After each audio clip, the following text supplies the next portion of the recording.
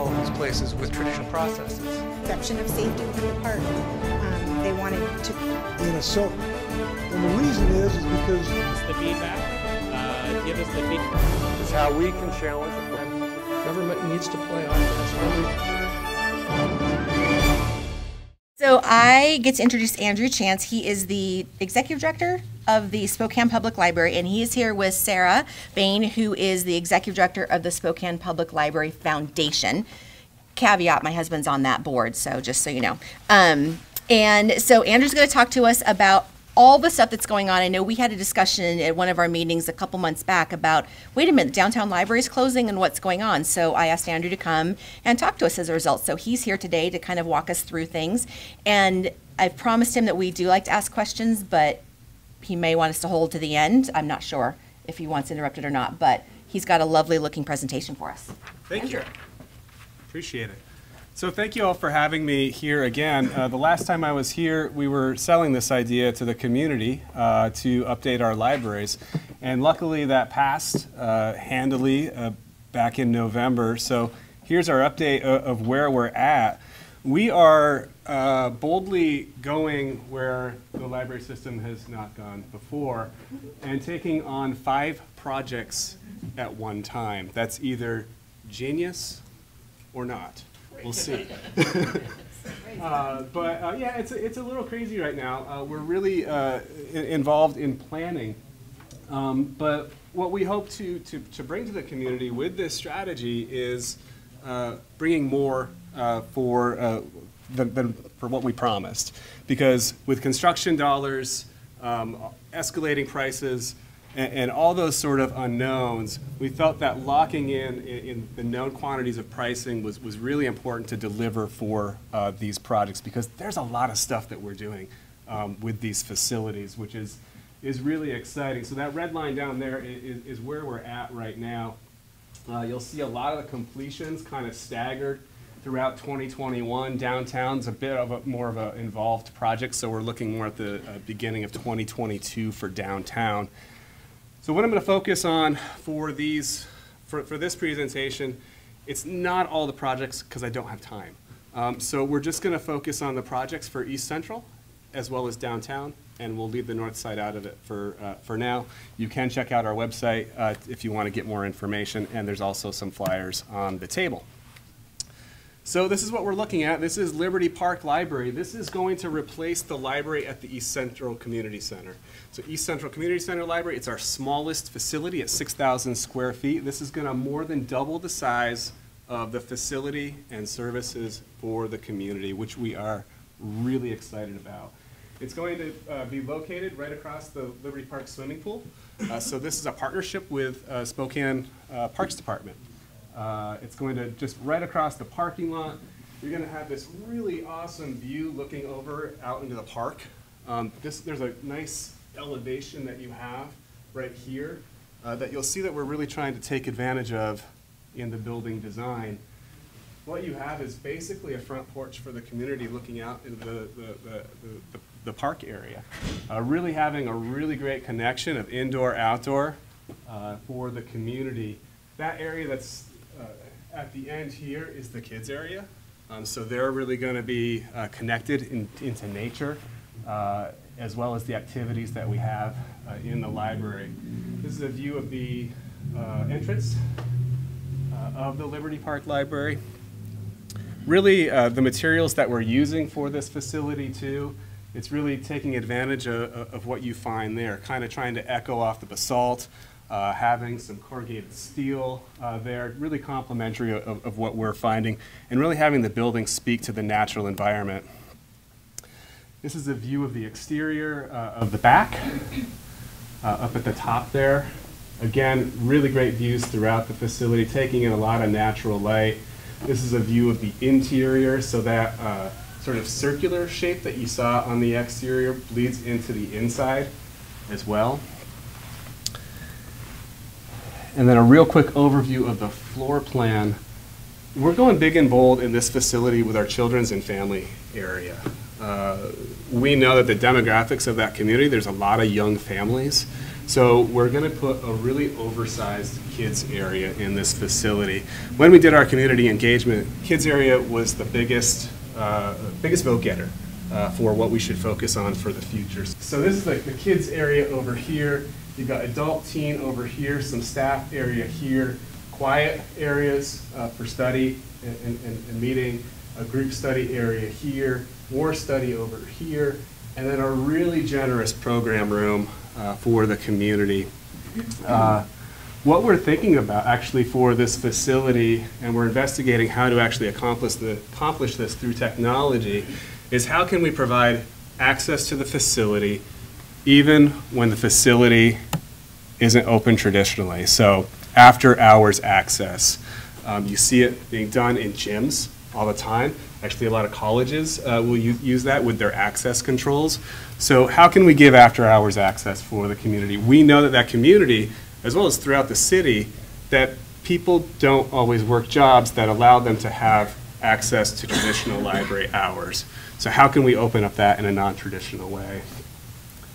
Some more interior shots. You're looking at a lot of low shelves. Uh, that's really great for sightlines, so we can see throughout the facility without adding a ton of staff. Uh, this is the checkout area. Um, Liberty Park used to be our riverfront park. Uh, so this uh, graphic here is an homage, uh, really, of, of, what that park uh, used to be topographically. Um, so we're, we're hoping to, to, to, really bring in the history and, and really meld that in with the future of the facility kids discovery area. Again, there'll be a lot of tactile stuff for the kids to do. Uh, kind of gives them their own uh, corner to discover and, and play. The other facility that we're looking at for the East Central community, and really I argue that this might be citywide, um, is our facility for the Hive uh, on East Sprague. This is a non-traditional library facility, meaning there's no books. Um, this is more about doing rather than reading. Um, and this is actually a partnership facility with Spokane Public Schools. They're going to house their Spokane virtual learning here, and it's also going to be used as a training center for their staff. When they're not using that center, we're going to open it up to the community at large for different events, different lectures, uh, all this parking, this is why I'm saying it's probably a citywide access or a citywide asset. That's free parking um, that we'll be able to use for the facility. So a lot of great big events that uh, can potentially be housed here. Where the cross street, the north side street? Yep, so that's on Sprague and uh, Regal. So it's right, so right down here is the Libby Center. Yeah, I was gonna say right close to Libby Center. Yep, yep. Here's a view of the exterior. This is going east on Sprague, uh, and this is going west. So what we're trying to do with this facility is uh, we're trying to create a, a, building as a billboard, right? Uh, you travel a bit faster on Sprague than you would in, say, a neighborhood. So using the building to really be eye-catching for the community so they, they kind of turn their head and say, well, well what's that? Because we know we're going to have to build an audience uh, for uh, the, the, services uh, that we'll be offering here. It's new. Uh, it, it's new for the, for the community. So a real modern feel for this facility. This is a view of the back. Um, this is where students and families might enter if they need to meet with Spokane Virtual Learning um, teachers and counselors. Uh, this is a, a, view, concept view of the gallery space, and you'll see what I'm talking about in just a second. What we have up here is those training rooms. So capacity of over 200 uh, when they're all open and, and, and, the wall dividers are up. Um, this is the area for Spokane Virtual Learning back of house. Uh, this is studio spaces up here uh, that we're, we'll be letting the community use on long-term basis. It's not a, hey, come in for a day and use this. This is a, hey, come and, come and use this for a month. Um, and while you're using it, you can do some public programming as well. So the, the public can come in and really see and feel how people do art, how people create things. One of these studios will be equipped for uh, woodworking. The other will be equipped for ceramics. The other, it's more general art, get messy, uh, and create. Uh, Outside in here, you'll have a, people want to do a a gallery show, art show, they could come and meet out here. This space in here also would serve as for food service or gathering uh, for, for the community for these types of events. This is another facility that we're looking at for more of an after-hours uh, uh, operation. Won't always be staffed with someone from the library. The rooms would be reservable, uh, and we would have uh, security there, but really, really trying to be creative of how we're- we're uh, staffing and and opening up the access to the facilities. And then there's downtown. Um, Downtown is our, obviously our biggest project. We are basically um, gutting that facility. Um, It was built as a research facility uh, in the mid-'90s. That's not really what we do anymore. Um, uh, We don't have the need for those extensive collections anymore. A lot of stuff that we have is, and we pay for access to, is online. Um, And really, the, the goal of downtown's facility is really to be, um, you know, about the center of being art and culture, and gathering, and, and showcasing Spokane and a lot of the great talent and, uh, that we have here uh, locally. Um, So a real quick overview of what we're looking at for downtown. This is first floor, this is second floor, this is third floor. You'll recall currently in downtown, this is the only space that you have that's open to the public. Uh, This is where the public meeting rooms currently are. This is the entrance off of Main. What you're going to find when we reopen is going to be a cafe. This is a partnership that we have uh, with, and I'm drawing a blank. Transit, uh, women's, isn't it transitions? Yes. Yeah. So they'll, be- they'll be staffing that. It's a great partnership, mission-aligned uh, partnership where they'll be, it's basically job training for the organization, but also providing atmosphere and, and service to uh, uh, our, our customers. Our Friends Bookstore will be here. We have a new business center here. You've got computer lab here, all these small conference and meeting rooms here. This is where the new uh, public meeting rooms will be.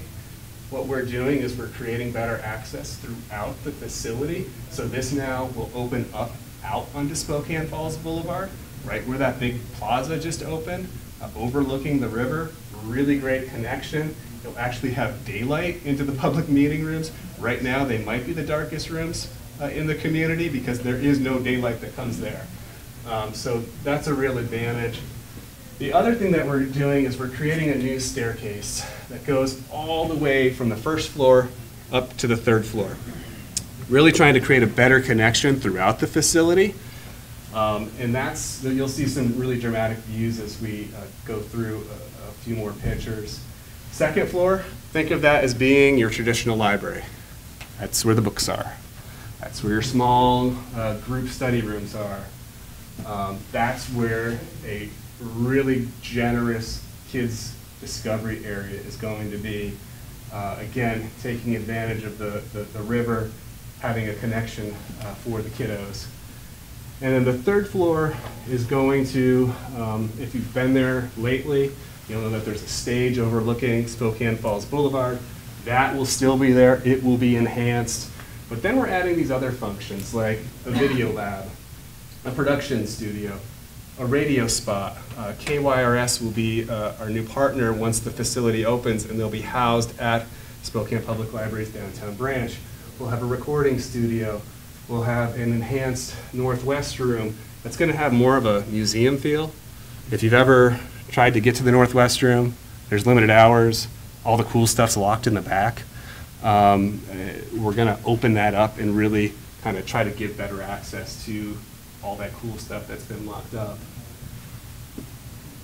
And then uh, in the corner, more conference rooms, places for people to, to meet. This is a view of the back. We're hoping construction does stop at some point um, in Spokane. If not, they'll upgrade to Jersey barriers, I think. Um, But this is showing you that, that there is going to be that connection out to the plaza off in Spokane Falls Boulevard. This is right when you come in, off Main. Um, this material that you see here is like this metal uh, that uh, has pinholes in it, and there'll be opportunities for backlighting it, so really creating a different modern feel. Um, this is a view off over, you can sort of see the Friends bookstore there. There'll be art uh, opportunities, art gallery spaces throughout there as well that are movable. This is another view on the, the first floor, really opening up, again, bringing that light down into the, the space throughout. This is an upgraded uh, computer lab area. Here's, here's that really cool shot where you can see throughout the facility, all the way up to the third floor. Um, If you're familiar with what we've been doing with some of our collection, it's not just about books anymore. This is our library of things, so you can check out snowshoes, you can check out things to, to recreate in the community. This is an enhanced kid zone, kind of little nooks and crannies for the kids to gather. And then this is a continuation of the stairs, which is, if you've been in uh, any uh, updated university in the past five, six years, uh, a real big thing to do is a social stair. So it's not just a thing to, you know, go up or down in a building. It's also a place to gather. You can do lectures there, um, uh, different smaller events, maybe some author talks, or maybe something like this. And then this is a view of that third floor. You've got your, uh, all along the edges, you've got your different functional rooms like your recording studio, your north, your northwest room. And then when we were going out for bond, we really didn't talk about the exterior of the downtown library. It wasn't really something that we were planning on doing. But man, it would be a real shame if we didn't do anything to the exterior with a really enlivened uh, interior. So what we're going to be doing is really enhancing that corner of Lincoln and Main. You know, the, the bones of this building are really great. They're solid, but it's kind of boring. Um, and it really doesn't have a, a modern feel like you're, you're seeing uh, in much of downtown. So uh, luckily or unluckily, there's a lot of leaking that's going on in these buildings with condensation. So we'll be replacing that, which is an opportunity for us to, to enhance the, the look and feel uh, of that space. And then at night, uh, this is almost like the pavilion effect, right? So you've, you've got this, this really great opportunity for another lantern in the community. Um, we can play with the LED and the lights, uh, just like you see at the steam plant or the pavilion here. As you've read, we'll be relocating downtown facility uh, temporarily, sort of a, a mini library version at the STA Plaza. We'll be shutting downtown down at the end of February, ready to move in for STA the beginning of March. Um, Shadle, that uh, will be closing uh, mid to late this month, actually, uh, and we'll be moving into the Northtown Mall as a temporary location, uh, ramping that up for the beginning of the year. Um, So, yeah, that's what we're looking at for the library. Uh, Any other questions for me and the sort of quick tour that I gave everyone? What's going to happen to like library staff when all of these are closed down? So there's no layoffs. Um, there's plenty of work to do, uh, either in the back um, or out in the community. Um, so we'll be looking for creative ways to engage uh, different partners. I, I know we're talking to some of the universities, you know, for some of our services like genealogy in the Northwest Room, uh, looking at different partnerships with the MAC, um, looking at different, uh, uh, actually, some bars that we'll be having uh, some of our, our programs, like our talk show Lilac City Live, will be at the Lucky You Lounge uh, instead of uh, at the downtown library. So really, you know, it, it's going to serve as an extended marketing and awareness campaign for us because we're going to have a greater ability to, to, to get out into the community.